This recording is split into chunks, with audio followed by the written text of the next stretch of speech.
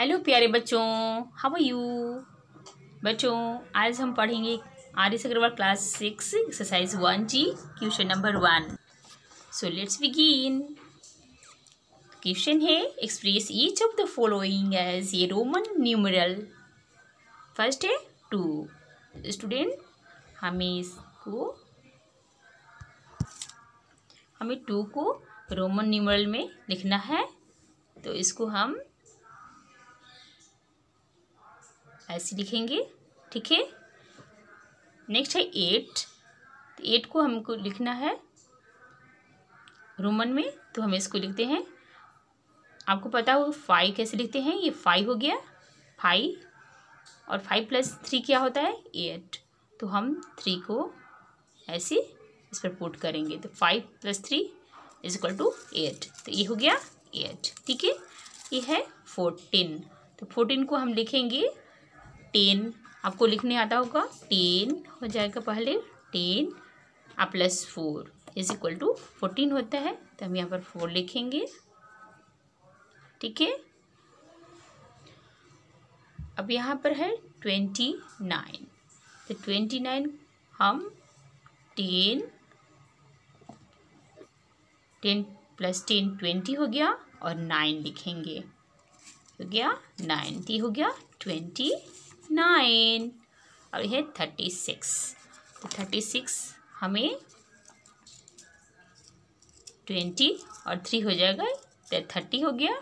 अब हम लिखेंगे यहाँ पर ये हो जाएगा सिक्स तो ये हो गया थर्टी सिक्स नेक्स्ट है फोर्टी थ्री तो फोर्टी थ्री को हम लिखते हैं.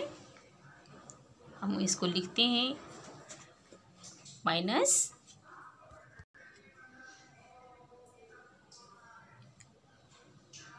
ये फिफ्टी हो गया, फिफ्टी में अगर हम टेन माइनस करते हैं, फोर्टी तो हम फोर्टी को ऐसे लिखते हैं।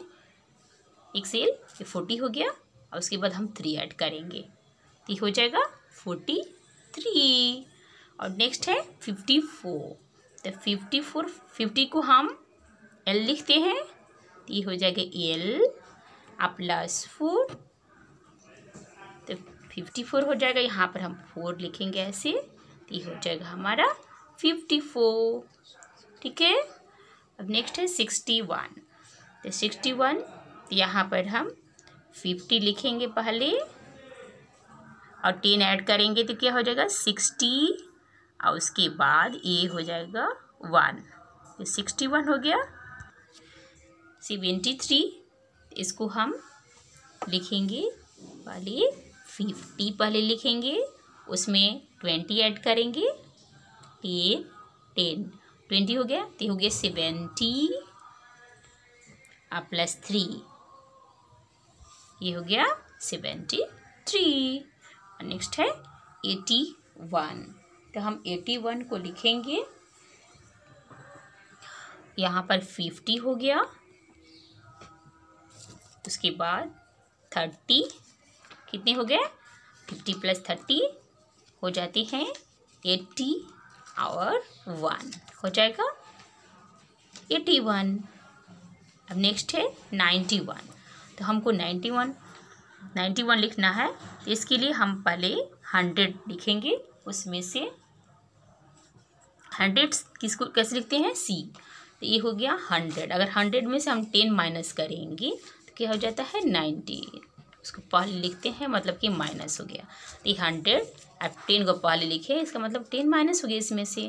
तो क्या हो गया? नाइन्टी हो गया। अब वन ऐड करेंगे फिर, ठीक है? तो यहाँ पर वन लिख दिया। तो ये हो गया नाइन्टी वन ठीक है? और नेक्स्ट है नाइन्टी फाइव इसको हम लिखेंगे हंड्रेड टेन माइनस किया नाइन्टी अब प्लस फाइव ये हो गया नाइन, ये हमारा नाइन्टी फाइव हो गया। बच्चों, अगर मेरा वीडियो आपको अच्छा लगा तो लाइक, शेयर एंड सब्सक्राइब करें। Thanks for watching my video.